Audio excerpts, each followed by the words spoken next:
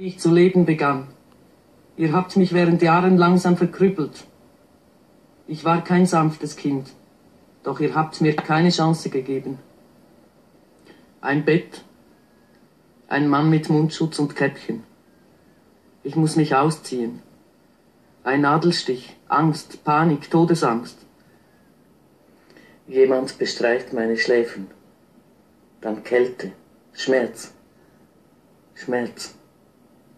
Aufhören, aufhören, bitte aufhören. Was habe ich getan? Tötet mich nicht, mein Herz, mein Herz hält es nicht aus, mein Kopf zerspringt. Bitte, bitte nicht mehr, nicht mehr. Was hat man mit mir gemacht? Ich bin neun Jahre alt. Das überhaupt